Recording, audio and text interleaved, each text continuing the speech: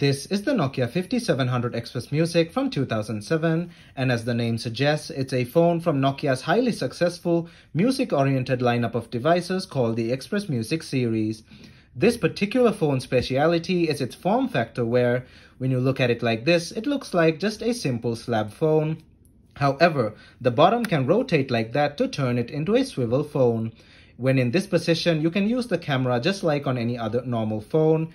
When turned like this, you can use it as a selfie camera and video call camera.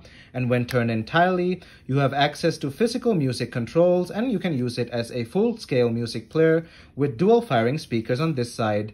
This phone is a great example of Nokia's experimentation into weird form factors and weird designs back in the early 2000s. I've done a full review on this phone which you can find down in the description below and on my channel as well.